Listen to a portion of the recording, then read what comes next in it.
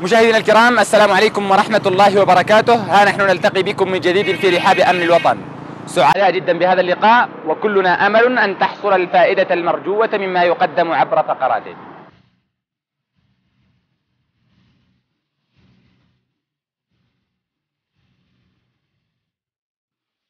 يتطلع الشعب اليمني من أقصاه إلى أقصاه لرسم معالم غد مشرق ومستقبل أفضل مبني على مخرجات الحوار الوطني الشامل وما يتطلع إليه المتحاورون.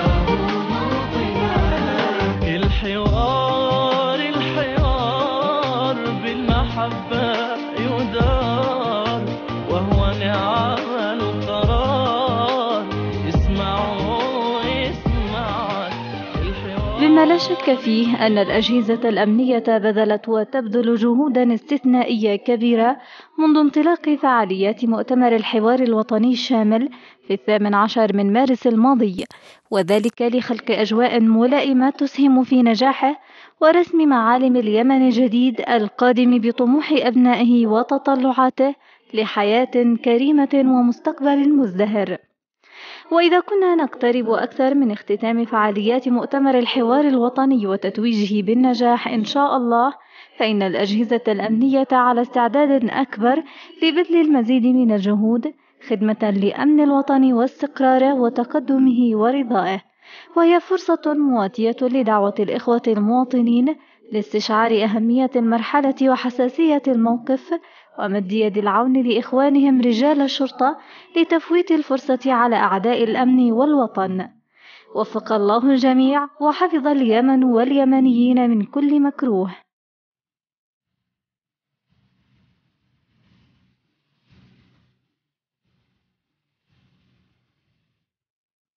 خدمة الفحص الفني للسيارات في أرض الله الواسعة تقدم خدمة لا يستهان بها.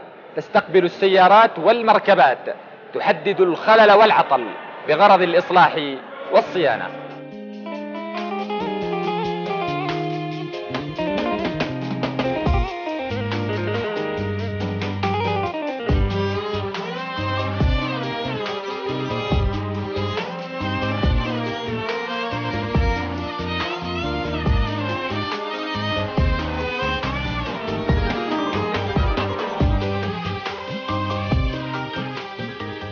تأتي أهمية مراكز الفحص الفني للسيارات والمركبات من خلال الخدمة التي تقدمها للسائق خصوصا وللمجتمع على وجه العموم والمتمثل بإصلاح الأعطال الفنية وأي خلل آخر مما يسهم في الحد من وقوع الحوادث المرورية ونتائجها المأساوية على الفرد والمجتمع والوطن والتي تستهدف حياة الناس وتوقع الإصابات والعاهات المستديمة في أوساطهم وتضر باقتصاد البلاد. للعلم بأن الفحص ضرورة حتمية لجميع السيارات على الأقل ما دون 2009 لأنها لأن الفحص يعني مهم جدا ويبين الخلل الموجود في السيارة والذي بدوره يتم تلافي هذا الخلل ويمنع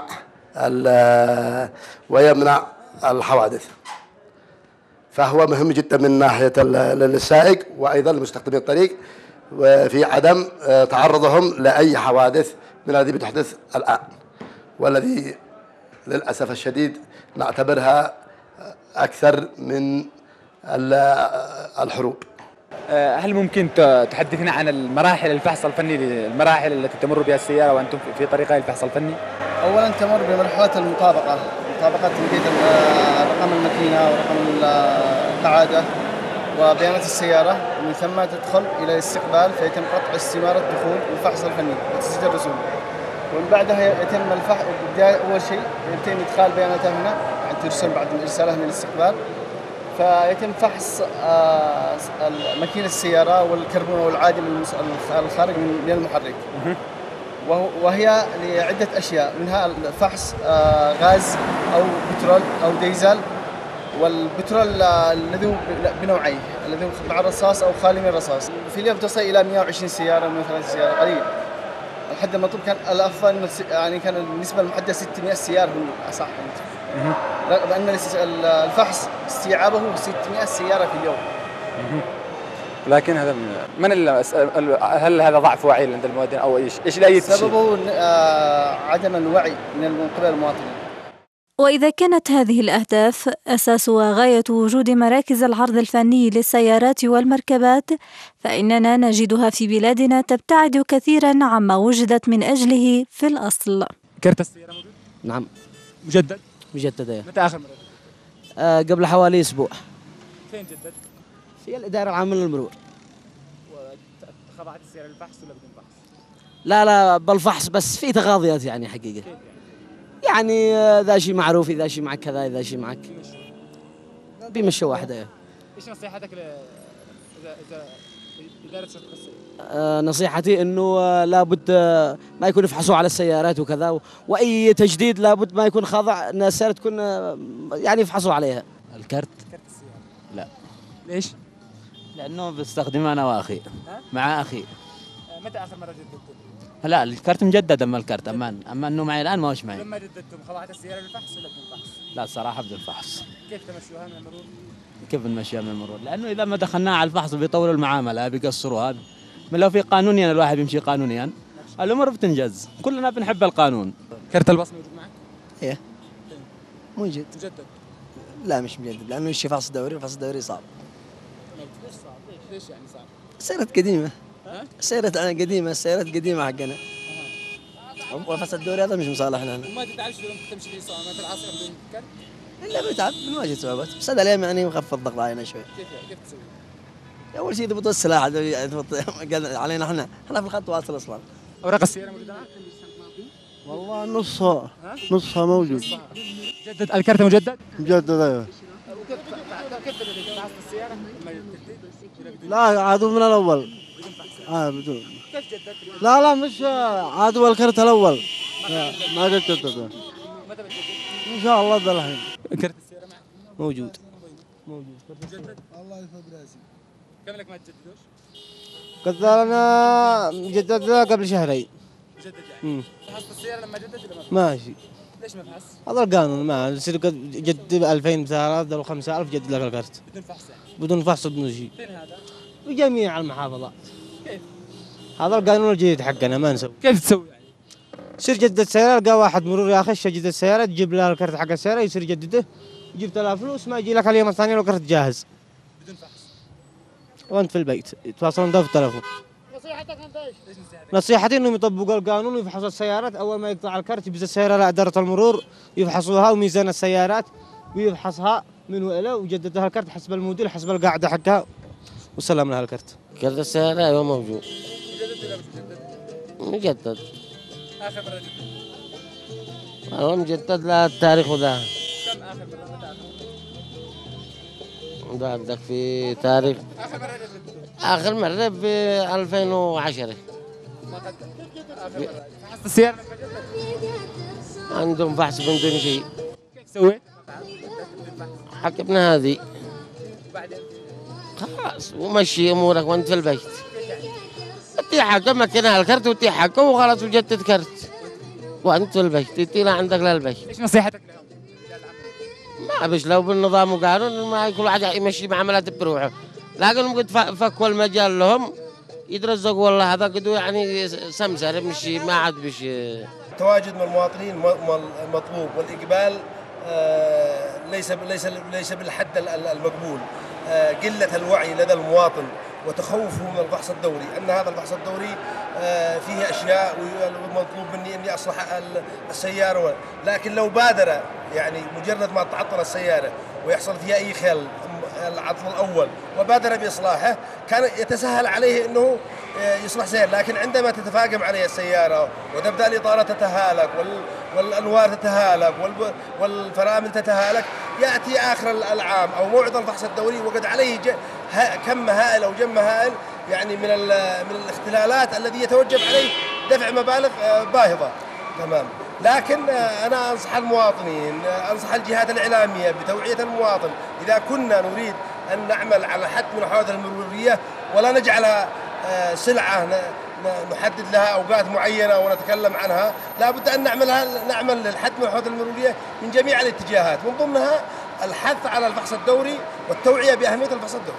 نعم جميع المركبات تخضع للفحص الدوري ما دون 2009 وبالتالي فإن ال-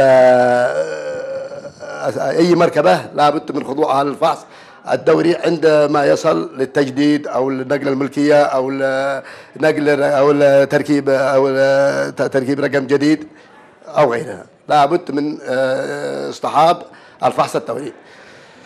ف... وأيضا بالنسبة من أنا مسؤول في الإهماء في عدم فحص. السيارات طبعا المسؤولية مشتركة. اولا الفحص أحب أن أقول لكم أنه لا يوجد إلا في خمس محافظات. وللأسف الشديد أن الخمسة المحافظات لا يوجد فيها إلا فحص واحد لجميع المحافظات. فبالتالي فإن المسؤول عن عدم الفحص هو أولا سائق المركبة الذي يتهرب دائما من الفحص ويذهب إلى محافظة أخرى لا يوجد فيها الف- الفحص هذا أولا. وثانيا المختصين في الإدارات. فالمفروض أنه لا يتم تركيب يعني أي رقم أو نقل ملكية أو تجديد إلا بعد آه، يعني عرض ال- الفحص الدوري. الفحص الدوري ضروري طبعا لل- للسيارات بشكل عام لما يسببه عدم الفحص يعني من نتائج غير محمودة متمثلة مثلا في الحوادث. فإذا رجعنا مثلا لاحصائيات الحوادث التي تحصل سواء كانت فصلية أو شهرية أو سنوية تجد إن من أهم أسباب وقوع الحوادث هو عدم الاهتمام وصيانة المركبة بالصورة الصحيحة. ولذلك إحنا نوجه نصيحة إلى جميع السائقين بالاتجاه إلى مراكز الفحص ال- الدوري الموجودة. للتاكد من سلامة سيارتهم وبالذات سيارات نقل الركاب التي تمر بالخطوط الطويلة. آه، إذا رجعت أنت مثلا إلى الإحصائيات تجد إنه مثلا عدم الاهتمام بفرامل السيارة وعدم الاهتمام بالأنوار وهذا سبب رئيسي من أسباب الحوادث يعني. من حيث الإحصائية. أيضا ال- الفحص الدوري ال- ال- إحنا نوجه نصيحة للقائمين عليه إلى زيادة عدد مثلا مراكز الفحص في الجمهور يعني. ما نحتصرش مثلا في أماكن معينة يجب يكون متوسع في جميع المحافظات وأكثر من مركز حتى في المحافظة نفسها وإشراك يعني جهات أخرى للعمل فيه ما يكونش الفحص محصور على شخص معين أو على كذا لأنه عدد السيارات في الجمهورية بالملايين يعني كثيرة جدا ومش معقول إنه يكون مركز واحد في محافظة واحدة؟ هو اللي يغطي العدد هذا. ليش ما يكونش في أكثر من مركز داخل إدارة المرور في أماكن قريبة من يعني من السائقين من المركبات آه، حتى نستطيع أن نفحص أكبر عدد كم. وأيضا السيارات اللي تتبع الشركات سيارات النقل الثقيل وهذا يعني نوجه رسالة لهم إنهم يوجهوا سيارات النقل الثقيلة القاطرات الشاحنات في الاتجاه للفحص الدوري. لأنه هذه تعمل حوادث يعني غير محمودة يعني حوادث شنيعة جدا يعني. ولنا أن نتساءل هل كل سائق يذهب لتجديد أو سحب أو تغيير أوراق سيارته؟ وعليه إخضاعها للفحص الفني يقوم بذلك الإجراء؟ اتفقنا في البداية قلنا على أن المسؤول هو المختصين في الإدارة. وبالتالي فقد ضبطت عدة أشياء وتم نقلها إلى قيادات الوزارة. وأعتقد إن شاء الله لابد من إجراءات صارمة. وإذا كان الخلل الفني يقف وراء نسبة ليست بالهينة من الحوادث كسبب من أسباب وقوعها فمن المسؤول عن ذلك؟ ولماذا لا تؤدي مراكز الفحص الفني للسيارات والمركبات الأدوار المطلوبة منها بدعم ومساندة سلطات شرطة السير وتكون بذلك اسما على مسمى وأداء ملموسة؟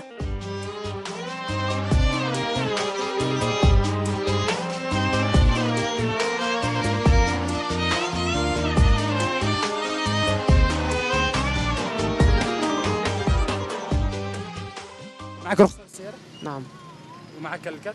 أيوه تفحص السيارة حقك ولا ما تفحصش؟ الفحص نا براسل ست الأشهر براسل أما الرخصة موجودة أول إيش نصيحتك اللي ما بيفحصش سيارته؟ يعملوا لها فحص دائم وصيانه لا حرصنا على سلامتهم رخصة سيارتك أيوه والكرت؟ كل شيء موجود تفحص السيارة ولا ما تفحصش؟ تفحص سيارتك؟ نفحصها دائما ولا دائما إيش نصيحتك اللي ما بيفحصوش السيارة؟ ضروري أنصحهم بأن ي- يفحصوا سياراتهم لأن فحص السيارة يؤدي إلى سلامة الأفراد والمركبات وعلى كل حال هل معك رخصة؟ وأوراق سيارة تفحص السيارة ولا ما تفحصهاش؟ أفحصها يعني ها أفحصها من ناحية إيش يعني؟ فحص فني في الفحص في جهاز الفحص الفني أيوه وكيف قطعت الرخص؟ كيف قطعت الرخص يعني؟ قطعت الرخص بفحص فني ولا بدون فحص فني؟ لا والله قطعت الرخص بدون بدون كيف مشيتها؟ مشيت لا هم هم, لما تجمرك السيارة يفحصوها هم ويجيب لهم الفحص ويقطعوا لك بموجب الأوراق. أيوه هي أصلا دخلت السيارة بالمينا بالطريقة هذا. أكيد افحصها دائما يعني. يعني بصورة دورية. إيش نصيحتك اللي ما بيفحصش سيارة؟ النصيحة إنه يفحصوا سياراتهم لأن هذا يؤمن حياتهم. كل شهر كل شهرين كذا. إيش نصيحتك للأشخاص اللي ما بيفحصوا ننصحهم بأنهم يتفاقدوا سياراتهم ويفحصوها دائما و... من أجل سلامتهم في الطرق و... تفحص السيارة؟ نعم كل كم؟ يعني كل أسبوع كل 15 يوم ليش يعني؟ لازم ليش هذا؟ لازم الفحص هذا لازم عشان امن الطريق عشان تضمن السيارة لأنه إذا قعدت تسوق السيارة هكذا ما فيش فايدة آه، إيش نصيحتك اللي ما بيفحصش سيارة؟ نصيحتي إنهم لازم يهتموا بسياراتهم لا يكونوا يخلوها سايبة كذا لأنه بالن- بالأخير هو ال- ال- الخسران هو هو الضحية معي اوراق السيارة؟ لا ليش؟ معي أوراق السيارة أيوه معي أوراق السيارة موجودة ت- تفحص السيارة بشكل دائم؟ دائما ليش يعني؟ ليش تفحص السيارة؟ أحافظ على عليها وما تحصلش حوادث ما أعمل ما أصطمش حد ما إيش نصيحتك اللي ما بيفحصوش سيارة؟ نصيحتي إنه يفحصها فحص دوري على الأقل في كل ثلاثة أشهر أوراق السيارة معي موجودة مجددة؟ آه لا ما يجدد الا أنا أجدد بس آه عاد اشتريت السيارة. طيب ما قد نقلت الملكية؟ آه الملكية نقلتها أيوه. ولما التجديد يعني ما تفحصش السيارة؟ آه إن شاء الله ناوي الآن أفحصها قريب. قريب ناوي افحصها إن شاء الله. آه فحص فني وتجديد ملكية.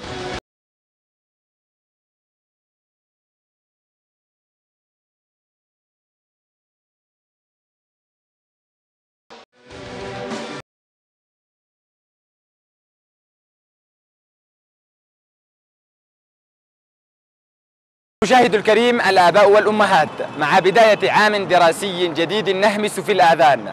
نذكر الآباء والأمهات الطلاب والطالبات بضرورة أن يكون خيارهم الوحيد هو التفوق والنجاح ولا شيء سوى ذلك.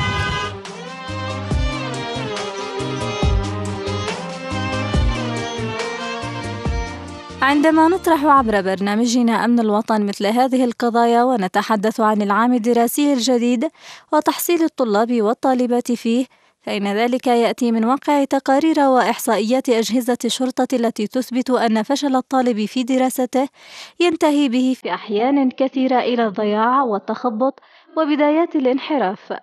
وحين نهمس في آذان الآباء والأمهات ونطلب منهم تقديم النصح والعون لأبنائهم وبناتهم وحسن المتابعة والملاحظة والدعم والتشجيع فإنما قصدنا بذلك تذكيرهم بما حل بآخرين من صدمة وخيبة أمل وهم يتلقون أنباء فشل ورسوب أبنائهم في الدراسة.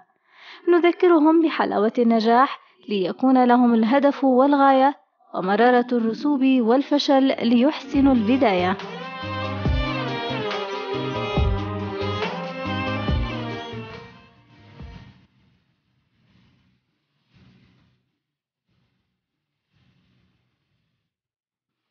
المشاهد الكريم أعزائنا رجال شرطة السير كانت شوارع أمانة العاصمة قد شهدت خلال أيام وليالي شهر رمضان المنصرم انسيابية غير معهودة للسيارات ومستخدمي الطريق اختفت معها الاختناقات والازدحامات المرورية فكيف هي شوارع أمانة العاصمة في مثل هذه الأيام؟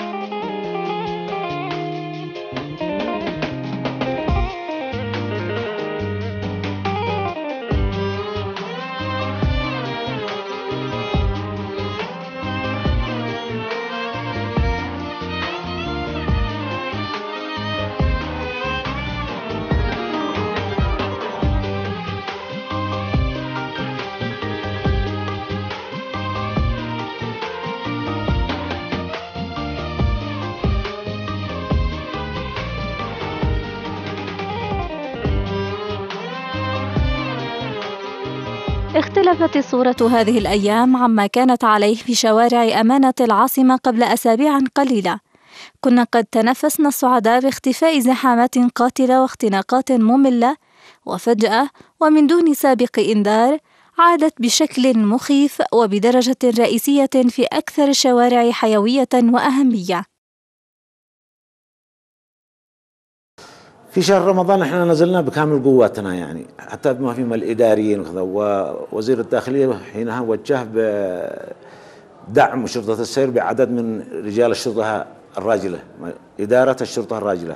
ودعمونا بعدد من الأفراد غطينا بهم عدة تقاطعات.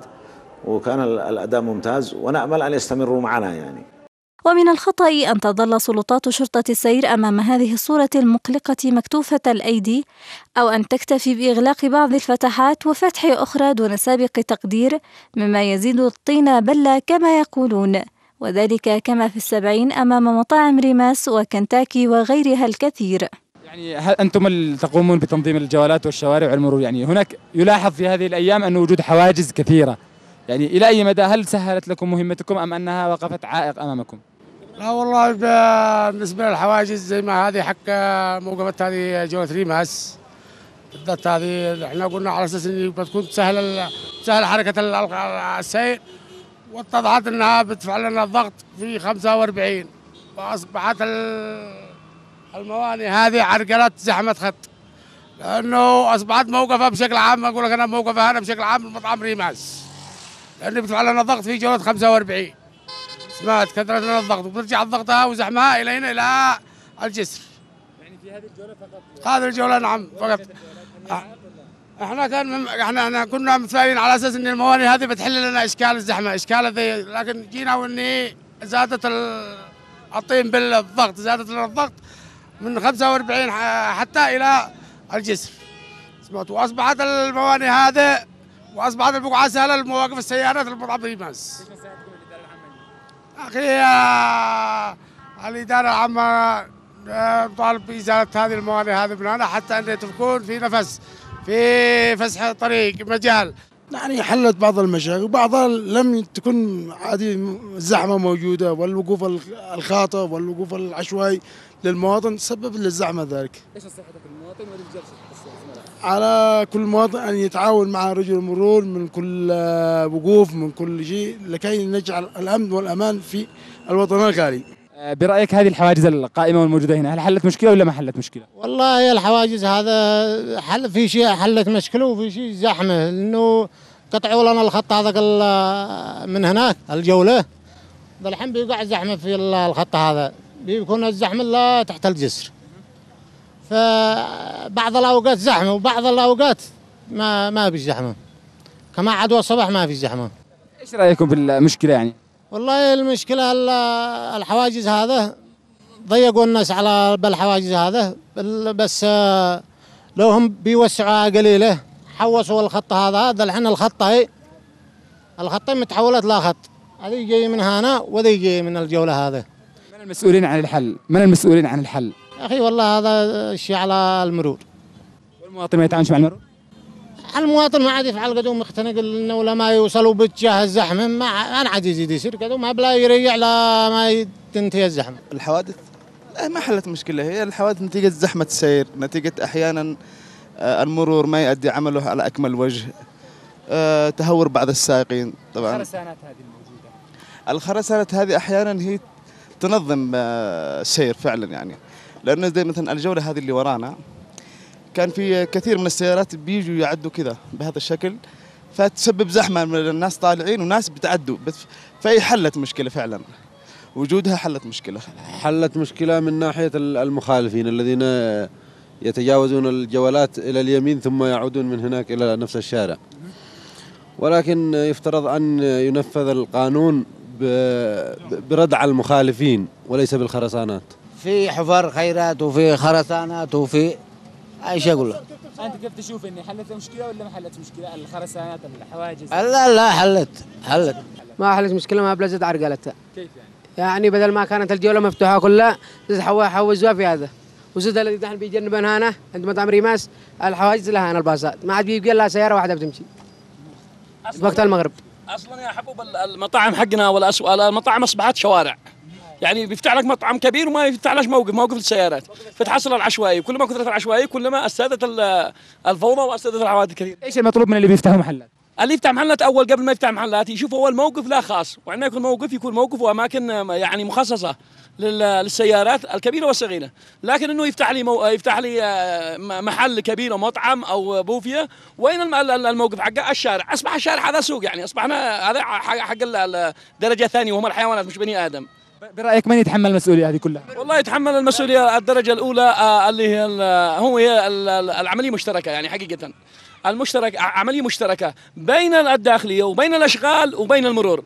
بس ال ال الهدف الأول وال- واللي أمام الشاشة واللي هو المسؤول الأول هو المرور. لأن آه، المرور هو ما يهمناش ويهمه مصلحته الأول والأخير. والله على ما بنشوف الحين ولا حاجة. ها؟ ولا حاجة. ما فعلت يعني؟ كذا بشوف الزحمه هذا؟ ما فيش حاجة. إحنا بنقول بها إنه صدام ولا حاجة وما في ولا حاجة. الموقف ما في إنه زحمة والجسور اللي سووها هذا ما داري كيف فعلوها والله ما حلت مشكلة وإني زاد زادت مشكلة بأكثر. ولا المفروض ان يبعدوا السيارات الذي في الورش حول حق ال- الخط هذا بالكامل. لو بعدوها عاد احتل المشكلة. يا أخي بل أوجدت مشكلة كبيرة جدا جدا والمسؤولين حقنا بيحسبوا حساب أنفسهم ولا يحسبوا حساب المجتمع وهذا المكان بنعاني منه معاناة كبيرة جدا جدا. وخاصة عندما يكون هناك أي اجتماع في دار الرئاسة يسبب علينا عراقيل كبيرة كبيرة. والمفروض أنه إدارة المرور أو المسؤولين ال- المعنيين في هذا الموضوع يوجدوا ال- ال- البديل يعني. ممكن أنه أوضاع أمنية يعني يحجزوا الكوبري حق الرئاسة لكن يوجدوا لنا ال- الحل السلمي يسهل للناس العبور يعني اسمه الآن تتراكم يعني بتشوف أنت من من هنا إلى خلف الكوبري ذي الستين. والناس يعني في مشاكل والناس عندهم أعمال يعني وبيسبب مشاكل كبيرة جدا. ولا حلت أي مشكلة. ولا حوزت الناس. قطعة السير يعني اتعبوا الناس لا مرور بيمشوا الناس ولا أي حاجة. تلقى واحد يجي الساعة لا مع مريض يموت. وهو في الطريق هكذا واقف أربع خمس ساعات لا ما يخرج من آه، داخل صنعاء لا خارجها ما بش حاجة. لا والله ما حلت المشكلة هذا الحواجز. زودت المشكلة. وزودت الزحمة. بعض الموانع الذي آه، وضعت أمام بعض المحلات أو آه، الحدائق مثل حديقة السبعين آه، وضعناها للتخفيف أو لسلاسة الحركة باب, باب الحديقة. لأنه تلاحظوا في العيد في عيد رمضان الماضي حصل ضغط يعني على الحدائق فكانت تغلق يغلق الشارع تماما. فعملنا حواجز لنفصل بين الخط الخدمي والخط ال- السريع. وحلت المشكلة نوعا ما مع وجود خدمات معنا باب الجانب الباب ال- ال- والمكان الآخر باب المستشفى الجمهوري. إحنا قد استبدلنا الموانع ب- ب- بردورات يعني وحلت المشكلة لأنه المفرزين أصحاب التاكسيات باب المستشفى كان يعملوا آه، نوع من الضغط على حركة السير. وحلت المشكلة يعني نوعا ما. و- وإن لم تكن قد حلت نهائيا ل- لأنه هناك أسباب. آه، مثلا عندك في سوبر ماركت الهدى في شارع الزبيري عملنا موانع لنخفف على المواطن من آه، عملية حركة السير الذي بيواجه فيها صعوبة في اجتياز الشارع. وتلك الموانع تخفف آه، ال- الزحام. مشكلتنا الذي نواجهها هي المحلات التجارية زي ما تعرفوا يعني يعطى ترخيص أو يفتح محل تجاري كبير وعدة أدوار وزبائنه أعداد كبيرة وليس لهم مواقف. شوارعنا في شوارع العاصمة لا تتسع لهذا العدد الهائل من السيارات والدراجات ومستخدمي الطريق بشكل عام. مواقف لمحلات لا يفتح محل في العالم كله إلا بوجود مواقف تستوعب عدد سيارة الزبائن الذي يرتادوا هذا ال- ال- المحل التجاري لكن عندنا سبق أما الآن على حسب آه، علمي أنه أمين العاصمة مشدد في هذا الجانب أنه لا يفتح مركز تجاري أو آه، محل أو مطعم أو كذا إلا بوجود مواقف كافية تستوعب جميع زبائنه. هي اللي كانت موجودة من من سابق. حتى عندك شارع الستين يعني عندك آه، سيتي ماكس وكينج مول و- واللي بجانبه. كلهم يوقفوا على الشارع. شوارعنا كم كم تتسع. يعني رغم إنه في خط خدمي لكن تشوف الضغط موجود يعني. وإحنا يعني أجهدونا في هذا الجانب خاصة في أيام في شهر رمضان وفي ال- وفي العيد. أيوه ال- ال- المواسم مواسم ال- البيع والشراء. ف وإنشاتنا آلياتنا در- من دراجات وسيارات وخدمات أرهقنا. وإحنا ننظم حركة السير باب هذه المحلات. نامل أن يكون هناك يعني حد لفتح مثل هذه المحلات. عاد إحنا منتظرين في مركز تجاري على جولة الرويشان يعني أمين العاصمة موقف لفتح هذا المحل. لأنه شوف مركز تجاري يعني ما بش له مواقف. وحسب ما علمنا أنهم تعهدوا بأن يكون لهم أرض بجانب ال- المركز كمواقف تجارية. إذا فتح مثل هذا المحل أو غيره على في في جولات هامة مثل هذه جولة الرويشان معروفة يعني بتقاطع شارع حد مع الخط الدائري. فأين سيأتوا بال- ب- ب- بالسيارات وبالمواقف؟ وأملنا كبير إن شاء الله أن مكتب الأشغال يحرص على عدم منح أي ترخيص إلا بوجود مواقف.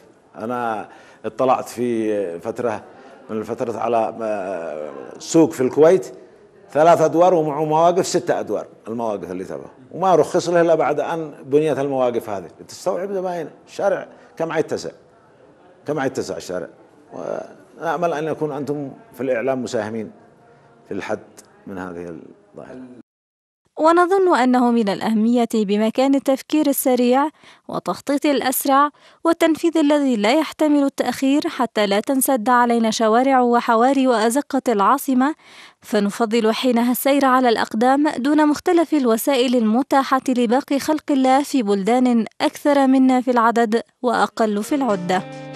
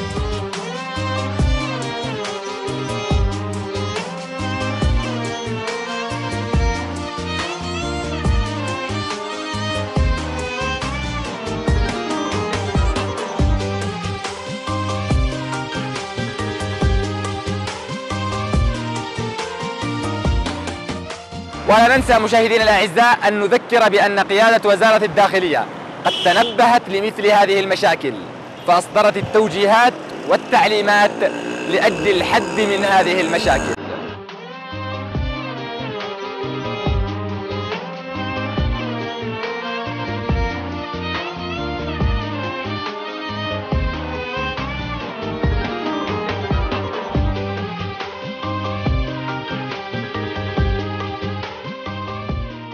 عقد اجتماع الأسبوع قبل الماضي بصنعاء بحضور وزير الداخلية وأمين العاصمة وقيادة سلطات شرطة السير وكان في مقدمة ما ناقشه هذا الاجتماع مشكلة الازدحامات والاختناقات المرورية بأمانة العاصمة والتوجيه بوضع الحلول والمعالجات. كلنا أمل مشاهدينا الأعزاء في أن تعود لشوارعنا تلك الانسيابية التي عهدت في شهر رمضان المبارك. ونطالب الجميع بأن يكونوا عونا لإخوانهم رجال شرطة السير.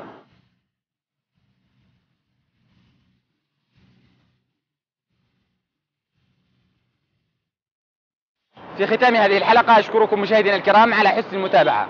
تقبلوا تحياتي وتحيات فريق العمل. دمتم في أمان الله. والسلام عليكم ورحمة الله وبركاته.